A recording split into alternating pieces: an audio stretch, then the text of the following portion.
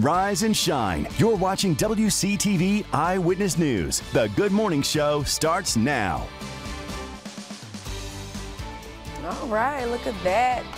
Of course, that's not in our area, mm -mm. but it is a WeatherStem live view of Atlanta, Georgia. Yeah, that looks like it's pretty close to where the new ballpark is. Yes, yes, it looks nice up there, but I bet you it's cooler than it is here. Uh, probably a pretty safe bet. Uh -huh. uh, lots of fun things going on there today, of course. The yes. big celebration for Jackie Robinson. Mm-hmm. Jackie Robinson being celebrated by the Braves. Michelle Roberts gets we'll to go up there with the Boys and Girls Club from, from around yeah. here, so that's very cool. That is uh, cool. And it's going to be, it should be a great day. Yeah, I've learned that. a lot of people don't even know that Jackie Robinson was from Cairo. Right. So this is pretty cool that the, the Boys and Girls Club yeah. from Cairo get to go. Very and cool. so you say they get to have nice weather? Oh, it should be great weather. Should be great weather. And we have uh, it around here. We've got it around here for sure.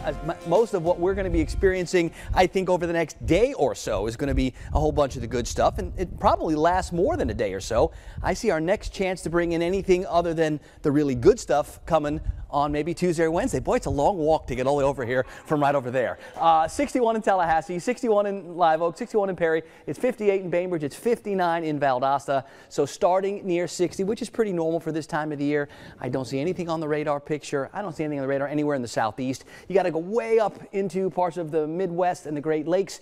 And yeah, they're still getting snow up there. The story for us over the next few days is going to be about a big bubble of high pressure off the Carolina coast. And as long as it stays where it is, our breeze keeps coming in from the east. The air keeps sinking and drying.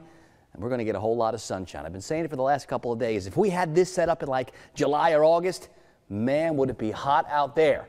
But thankfully, we have it here in April, and it's really nice out there. I think we're going to watch those temperatures get just a little warmer over the next few days, probably low to mid 80s today, likely mid 80s or even into the upper 80s Sunday and Monday. I'll break it all down, full forecast again in just a couple of minutes. We begin this half hour with our continuing coverage of the bombshell developments in the Dan Markel murder case. Yesterday morning, U.S. Marshals arresting his brother-in-law in the murder for hire plot eight years later. This after a Leon County grand jury indicted him Wednesday night. Adelson is now the fourth person arrested since the FSU professor was gunned down in his driveway in 2014. Sigfredo Garcia, Luis Rivera, and Katherine Magbanua all arrested in 2016, and now Charlie Adelson is facing charges of murder, conspiracy, and solicitation. Our Savannah Kelly was at the Leon County Courthouse yesterday.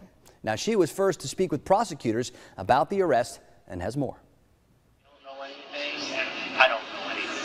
This video captures a 2016 meeting of Charlie Adelson and Katherine Magbanua in a Miami restaurant. Prosecutors say it gave a Leon County grand jury reason to indict Charlie Adelson eight years after the murder of Dan Markel. That recording includes statements of Charles Adelson, which can be heard now for the first time. FSU professor Dan Markel was shot and killed after pulling into the driveway of his home in Betton Hills back in 2014. Prosecutors claim Charlie Adelson, through his girlfriend Magbanua, hired the hitman for the killing, all to end a custody battle between Markel and his ex-wife, who is Charlie Adelson's sister. During Magbanua's first trial in 2019, Markel's ex-wife testified about comments her brother made about hiring a hitman. Did he ever joke about he looked into hiring a hitman, but buying you a TV as a divorce present would be cheaper? He did make that joke. Charlie Adelson's attorneys maintain his innocence. In a statement to WCTV, they claimed the prosecutors have no new information that led to his arrest. In a statement, Dan Markel's family thanked the state attorney's office, FBI, and other local law enforcement for working for the last eight years to get justice for Dan Markel. And we've got much more on Charlie Adelson's arrest, including the full transcripts of that newly enhanced recording and lots of background material on the Dan Markel murder case. It's all on our website. Read it at WCTV.tv. All right, it's 633 now, and the fight between Disney and the governor is escalating over a controversial new law limiting discussion of sexual identity in public schools. As Manuel Bojorquez reports, a bill is now headed to the governor's desk that will end a special tax district for Disney. When Disney World was still just an idea. Walt Disney. The Disney family lobbied Florida officials to create a special improvement district governed by Disney and called Reedy Creek. It taxes itself to provide roads, power, and some emergency services. That was 1967.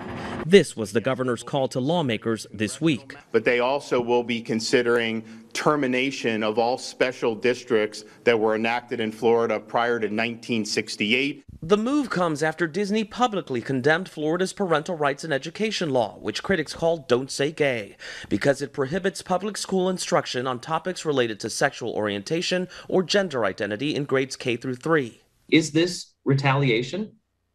No, I don't think so. But I think that when you kick the hornet's nest, I think sometimes issues rise up that you weren't aware of. Republican State Representative Randy Fine co sponsored the bill to strip Disney, the state's largest private employer, of self governing status. Disney's charter allows them to build a nuclear power plant. It allows them to build roads without having to follow Florida Department of Transportation standards. And these are not things that may make a lot of sense. Maybe they did 55 years ago, but they don't today. Fine claims taxpayers won't end up footing the bill if Disney's status goes away.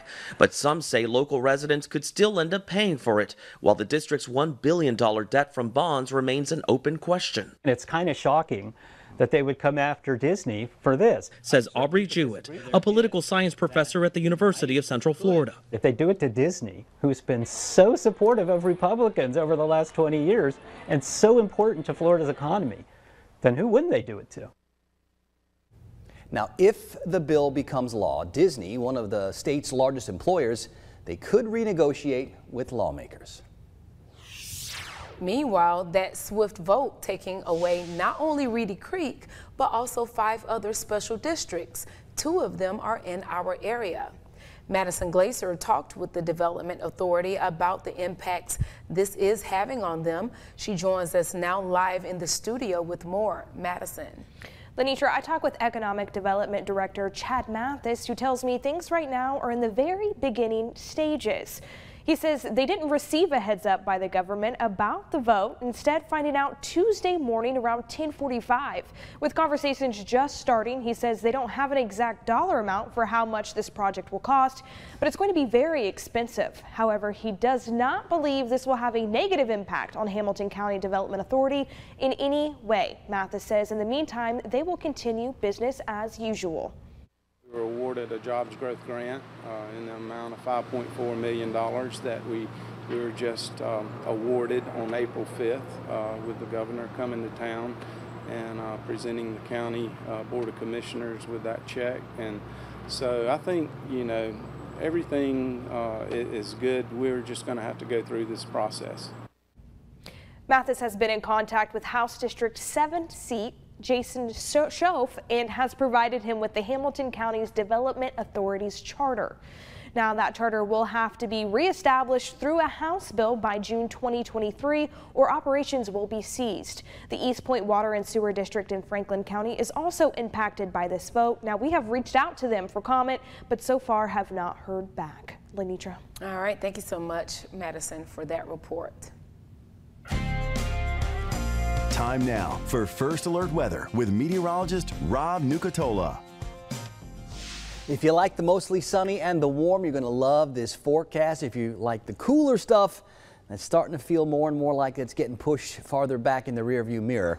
I think top temperatures today have a pretty good shot to get into those middle 80s, and we're likely going to get a little warmer each of the next few days. It's 58 degrees in Bainbridge, 57 Quincy, 59 Thomasville and in Valdosta, but Tallahassee and Perry and Live Oak are all around 61. And we're going to find more morning temperatures this weekend, hovering around 60 degrees, maybe a couple degrees either side. That breeze from the east, noticeable at times, but nothing that we'd call windy. It's doing a pretty good job of stirring things up this morning, so we don't have a lot of fog to deal with. Over the next couple of mornings, some patchy fog is a possibility. On the satellite radar composite picture, there isn't a lot going on, not around here, and there probably isn't going to be anytime soon.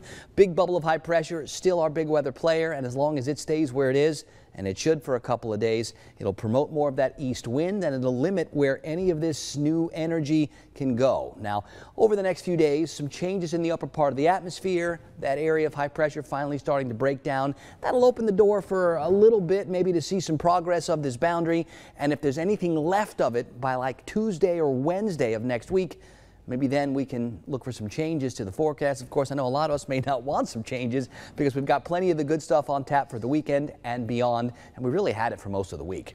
Futurecast shows maybe a few clouds sort of sneaking in on some of those east breezes.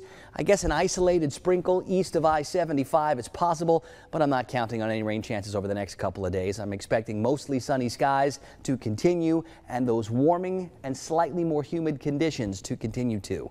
Lots of sunshine over the Gulf. This is where the breeze will probably be the strongest. Those winds out of the east 12 to 22, seas 2 to 4 feet. So if you've got the boating plans this weekend, it's going to be a little bit choppy out there at times. The UV index this weekend is going to be very high. That means 15, 20 minutes tops unprotected skin will burn, so make sure you get that sunblock on. Notice that water temperature back up to 71 now, so it's going to start climbing a little bit faster, a little bit farther too. 50s and 60s this morning. Sun will be up just after 7, mostly clear. Should be a lovely start to the day. And let's shoot for the mid 80s. I think 83, 84, 85 is where we likely get with mostly sunny skies. Tonight it stays pretty clear. Overnight temperatures real close to 60 degrees, maybe a couple of degrees either side. And over the next seven days, I don't see a lot of opportunities to get wet. I'm hoping Tuesday's the one. Got a lot of thirsty lawns, gardens, and greens out there that could use some more rain. We haven't had rain since this past Monday. So do the math. That's like seven or eight days. That's a little too long between showers. But right now, I don't see any rain chances today, tomorrow, or Sunday. So all the outdoor weekend plans are looking good just bring a little cold water with you. It's going to be a little toasty out there, especially in the afternoons. I do think those middle and upper 80s are a real possibility.